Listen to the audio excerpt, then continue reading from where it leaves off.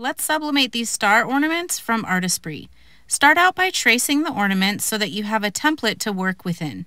I'm using text, so I'm going to want to make sure to reverse the image using this light pad right here from Ivyne. Pencil will not heat transfer, so I'm really making sure that my design is how I like it before I start filling it in with my sublimation markers, also from Artesprix.